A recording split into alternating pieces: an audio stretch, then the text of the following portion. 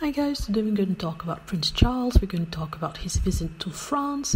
The King of England was supposed to uh, visit France next week, but unfortunately, due to the situation in France, he has decided to cancel. So, if you don't know what's happening in France, basically, the French government has passed a law to up the retirement age or pension age from 62 years old to 64 years old.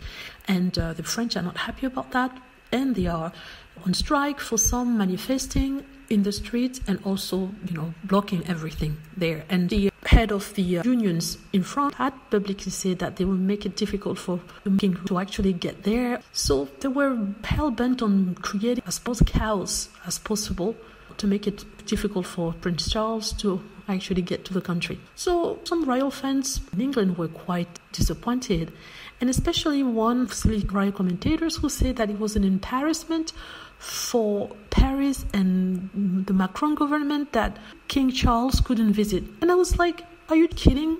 The country is going through a crisis like never seen before, a historical crisis about the uh, future of the next generation and even this generation. And you're talking about receiving your king, a king that has no power, in which action has no power to affect what's happening in France one way or another. So, yeah, they are in the right to go outside and show their. Uh, disappointment, also dissatisfaction to the government if that's what they deem appropriate. You know what I mean, right? And this guy is complaining about King Charles cannot come to the country to say hello to Macron.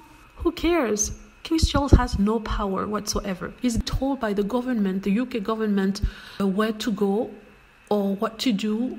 You know, the government decides what the king will do, Prince William will do, Prince Harry, no, Prince Harry actually escaped that toxic environment. He no longer has to respond to anyone. So yeah, let me know what you think. Hope you like the video. Feel free to click on like if it's the case, subscribe for more videos and click on the notification bell to be notified when I post a new video. Thank you.